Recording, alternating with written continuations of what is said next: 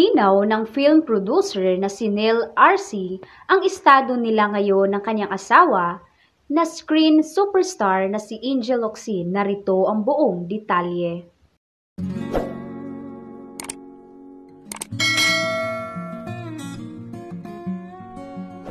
Sa pahayag ni Neil, sinabi niyang, Me and my wife are charitable people.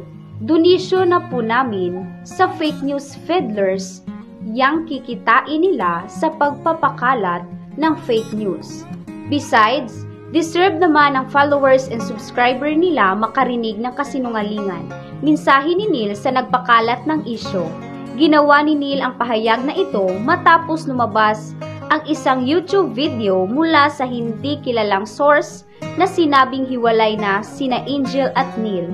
May ilang video na rin na lumabas na ang kanilang hiwalayan ang dahilan kung bakit extended raw ang absence online ni Angel.